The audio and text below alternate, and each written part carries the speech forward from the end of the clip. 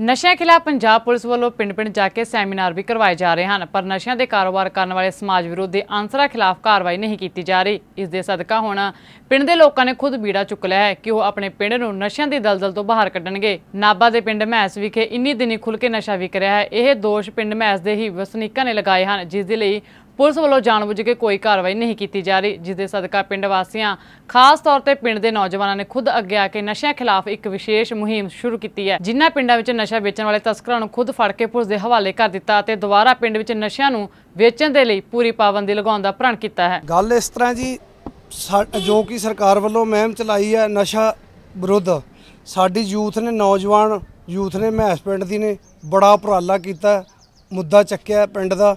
ਆਪ ਅੱਗੇ ਹੋ ਕੇ ਜਿਹੜਾ ਵੀ ਨਸ਼ਾ ਵੇਚਦਾ ਉਹਦੇ ਖਿਲਾਫ ਸਟੈਪ ਚੱਕ ਰਹੇ ਨੇ। ਅਸੀਂ ਖੁਦ ਕੱਲ ਸਾਡੇ ਨੌਜਵਾਨਾਂ ਨੇ, ਯੂਥ ਨੇ ਉਹਨਾਂ ਤੋਂ ਪਹਿਲਾਂ ਮੰਗਾ ਕੇ ਪੱਤੇ ਗੋਲੀਆਂ ਦੇ, ਜਿਹੜੇ ਕਿ ਲੋਕਾਂ ਦੇ ਜਵਾਕਾਂ ਨੂੰ ਖਰਾਬ ਕੀਤਾ ਜਾ ਰਿਹਾ ਖਵਾ ਖਵਾ ਕੇ। ਉਹ ਮੰਗਾ ਕੇ ਖੁਦ ਸਬੂਤ ਹੈ, ਮੰਗਾ ਕੇ ਫਿਰ ਅਸੀਂ ਪੁਲਿਸ ਬੁਲਾਈ, ਜਿਹੜਾ ਮੌਕੇ ਤੇ ਸੀ, ਉਹਨਾਂ ਨੂੰ ਬਰਾਮਦ ਕਰਵਾਇਆ ਤੇ ਮੌਕੇ ਤੇ ਹੀ ਦੁਕਾਨ ਨੂੰ ਜੰਦਰਾ ਲਾ ਕੇ ਦੁਬਾਰਾ ਫਿਰ ਪੁਲਿਸ ਆਣ ਕੇ ਇਹਦੇ ਵਿੱਚੋਂ ਤਲਾਸ਼ੀ ਕਰੇ ਤਾਂ ਉਹਦੇ ਚੋਂ ਬਹੁਤ ਕੁਝ ਮਿਲੇਗਾ। ਕਿੰਨਾ ਕੱਲ ਜਿਹੜਾ ਫੜਿਆ ਗਿਆ ਜਿਵੇਂ 5 10 ਪੱਤੇ ਮੰਗਾਏ ਹਨ ਉਹ ਮੌਕੇ ਤੇ ਫੜੇ ਗਏ ਨੇ। ਬਾਕੀ ਅਜੇ ਦੁਕਾਨ ਨੂੰ ਉਸ ਟਾਈਮ ਹੀ ਸੀਲ ਕਰਤਾ। ਪੁਲਿਸ ਦੁਬਾਰਾ ਆਣ ਕੇ ਛਾਣਬੀਨੇ ਕਰੇ ਤਾਂ ਬਹੁਤ ਕੁਝ ਨਿਕਲੇਗਾ। ਕਿੰਨਾ ਕੁ ਨਸ਼ਾ ਵਿਕ ਰਿਹਾ ਮੈਡੀਕਲ ਨਸ਼ਾ ਜੇ ਆਪਾਂ ਗੱਲ ਕਰੀਏ ਫਿਲਹਾਲ? ਸਾਡੇ ਪਿੰਡ 'ਚ ਨਸ਼ਾ ਮੈਡੀਕਲ ਬਹੁਤ ਜ਼ਿਆਦਾ ਵਿਕ ਰਿਹਾ। ਪਰਚੂਨ ਦੀਆਂ ਦੁਕਾਨਾਂ ਤੇ ਵੀ ਵਿਕ ਰਿਹਾ ਜੀ।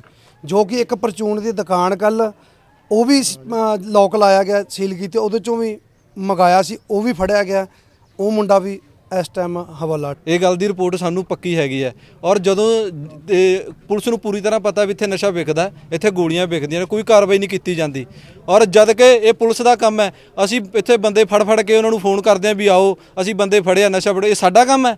ਇਹ ਪੁਲਿਸ ਦਾ ਕੰਮ ਹੈ, ਪੁਲਿਸ ਨੂੰ ਇਹ ਕਰਨਾ ਚਾਹੀਦਾ ਸਾਡੇ ਛੋਟੇ ਛੋਟੇ ਬੱਚੇ ਆ ਜਿਹੜੇ 10-10 ਸਾਲਾਂ ਦੇ 12-12 ਸਾਲਾਂ ਦੇ ਆ, ਉਹ ਮਤਲਬ ਕਿ ਫੁੱਲ ਵੱਡੇ ਪੱਧਰ ਤੇ ਜਿਹੜਾ ਨਸ਼ਾ ਕਰ ਰਹੇ ਆ, ਕਿਉਂਕਿ ਇਹ ਮੈਡੀਕਲ ਨਸ਼ਾ ਇੰਨਾ ਕੁ ਘਾਤਕ ਹੈ, ਜਿਹੜੀਆਂ ਸਾਡੀਆਂ ਆਉਣ ਵਾਲੀਆਂ ਪੀੜ੍ਹੀਆਂ ਨੂੰ ਖਤਮ ਕਰੇਗਾ।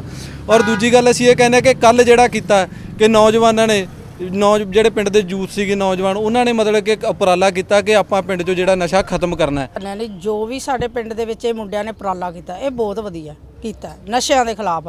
ਸਾਨੂੰ ਬਹੁਤ ਦੁੱਖ ਹੈ ਜਦੋਂ ਸਾਡੇ ਛੋਟੇ ਛੋਟੇ ਬੱਚਿਆਂ ਨੂੰ ਨਸ਼ਿਆਂ ਦੇ ਵਿੱਚ ਬਰਬਾਦ ਕੀਤਾ ਜਾ ਰਿਹਾ ਹੈ। ਫਿਰ ਇਹਨਾਂ ਨੇ ਕੀ ਗਲਤ ਕੀਤਾ? ਅਸੀਂ ਇਹਨਾਂ ਦੇ ਨਾਲ ਆ ਸਾਰਾ ਪਿੰਡ ਸਾਰੇ ਲੇਡੀਜ਼ ਇਹਨਾਂ ਦੇ ਨਾਲ ਆ ਅਸੀਂ ਗਲਤ ਦਾ ਸਾਥ ਨਹੀਂ ਦੇ ਸਕਦੇ। ਜੋ ਵੀ ਨਸ਼ਾ ਵਿਕ ਰਿਹਾ ਸਾਡੀਆਂ ਅੱਖਾਂ ਦੇ ਸਾਹਮਣੇ ਸਾਰੇ ਪਿੰਡ ਨੂੰ ਪਤਾ ਪੰਚਾਇਤਾਂ ਨੂੰ ਵੀ ਪਤਾ ਸਾਰੇ ਲੀਡਰਾਂ ਨੂੰ ਵੀ ਪਤਾ ਸਭ ਨੂੰ ਹੀ ਪਤਾ ਹੁੰਦਾ ਕਿ ਗਲਤ ਕੰਮ ਹੈ। ਹਾਂ। ਪੁਲਿਸ ਨੂੰ ਵੀ ਪਤਾ ਪੁਲਿਸ ਖੁਦ ਇੱਥੇ ਜਦੋਂ ਆਂਦੀ ਜਾਂਦੀ ਹੈ ਪੁਲਿਸ ਨਾਲ ਪੈਸੇ ਲੈ ਕੇ ਫੇਰ ਛੱਡ ਦਿੰਦੀ ਹੈ ਤਾਂ ਪੁਲਿਸ ਨੂੰ ਕਿਵੇਂ ਨਹੀਂ ਪਤਾ ਹੋ ਸਕਦਾ?